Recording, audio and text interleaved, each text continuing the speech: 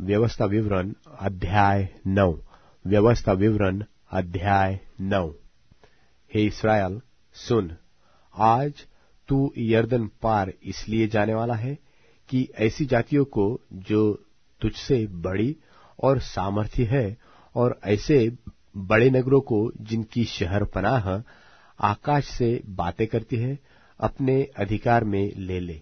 उनमें बड़े बड़े और लंबे लंबे लोग अर्थात अनाक वंशी रहते हैं, जिनका हाल तू जानता है। और उनके विषय में तूने यह सुना है कि अनाक वंशियों के सामने कौन ठहर सकता है? इसलिए आज तू यह जान ले कि जो तेरे आगे भस्म करने वाली आग की नाई पार जाने वाला है, वह तेरा परमेश्वर यहोवा है, और वह उनका सत्यानाश करेगा, और वह उनको तेरे सामने दबा देगा, और तू यहोवा के वचन के अनुसार उनको उस देश से निकालकर शीघ्र ही नष्ट कर डालेगा। जब तेरा परमेश्वर यहोवा उन्हें तेरे सामने से निकाल चुके, तब यह न सोचना कि यहोवा तेरे धर्म के कारण तुझे इस देश का अधिकारी होने को ले आया है। किंतु उन जातियों की दुष्टता ही के कारण यहोवा उनको तेरे सामने से निकालता है। तू जो उनके देश का अधिकारी होने के लिए जा रहा है, इसका कारण तेरा धर्म व तेरा मन की सीधाई नहीं। तेरा परमेश्वर यहोवा, जो उन जातियों को तेरे सामने से निकालता है, उसका कारण उनकी दुष्टता है। और यह भी कि जो वचन उसने इब्राहिम, इसहाक और याकूब तेरे पूर्वजों को शपथ खाकर दिया था, उनको वह पूरा करना चाहता है। इसलिए यह जान ले कि तेरा परमेश्वर यहोवा, जो तुझे वह अच्छा देश देता है कि तू उसका अधिकारी हो, उसे वह तेरे धर्म के कारण नहीं दे रहा है, क्योंकि तू तो एक हटीली जाति है।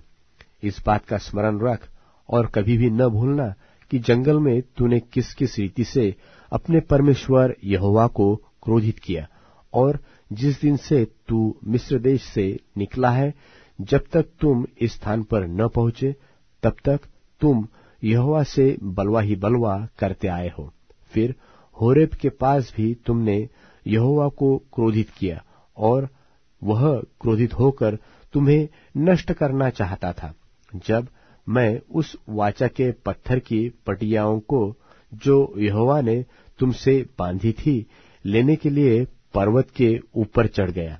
तब चालीस दिन और चालीस रात पर्वत ही के ऊपर रहा और मैंने न रोटी तो खाई, न पानी पिया और यहोवा ने मुझे अपने ही हाथ की लिखी हुई पत्थरों की दो पटियों को सौंप दिया और वे ही वचन जिन्हें यहोवा ने पर्वत के ऊपर आग के मध्य में से सभा के दिन तुमसे कहे थे, वे सब उस पर लिख दिए और चालीस दिन और चालीस रात के बीत जाने पर यहोवा ने पत्थर की वे दो वाचा की पटिया मुझे दे दी।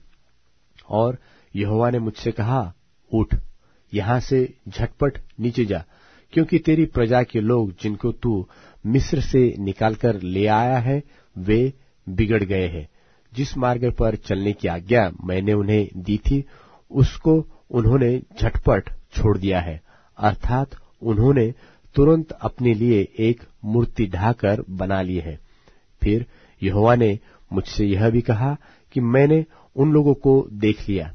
वे हटीली जाति के लोग हैं। इसलिए अब तुम मुझे मत रोक, ताकि मैं उन्हें नष्ट कर डालू और धरती के ऊपर से उनका नाम व चिन्ह तक मिटा डालू। और मैं उससे बढ़कर एक बड़ी और सामर्थी जाति तुझी से उत्पन्न करूँगा। तब मैं उल्टे पैर पर्वत से नीचे उतरा और पर्वत अग्नि से दहक रहा था और मेरे दोनों हाथों में वाचा की दोनों पटिया थी।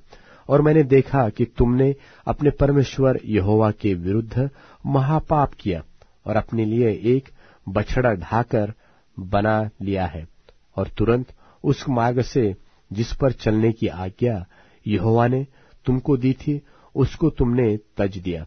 तब मैंने उन दोनों पटियों को अपने दोनों हाथों से लेकर फेंक दिया और अब तुम्हारी आँखों के सामने उनको तोड़ डाला। तब तुम्हारे उस महापाप के कारण जिसे करने से तुमने यहोवा की दृष्टि में बुराई की और उसे रिस दिलाई थी, मैं यहोवा के सामने मुँह के बल गिर पड़ा और पहले की नाई अर्थात चालीस दिन और चालीस रात तक न तो रोटी खाई और न पानी पिया। मैं तो यहोवा के उस कोप और जलजलाहट से डर रहा था, क्योंकि वह तुमसे अप्रसन्न होकर तुम्हें सत्यानाश करने को था। परंतु यहोवा ने उस बार भी मेरी सुन ली, और यहोवा हारून से इतना कोपित हुआ कि उसे भी सत्यानाश करना चाहा। परंतु उसी समय मैंने हारून के लिए भी प्रार्थना की, और मैंने वह बछड़ा जिसे बनाकर तुम पापी हो गए थे, लेकर आग में डालकर फूंक दिया और फिर उसे पीस पीस कर ऐसा चूर चूर कर डाला कि वह धूल की नाई जीर्ण हो गया और उसकी उस राख को उस नदी में फेंक दिया जो पर्वत से निकलकर नीचे बहती थी। फिर तबेरा और मत्सा और किब्रोत हत्तावा में भी तुमने यहोवा को रुड़ीस दिलाई थी।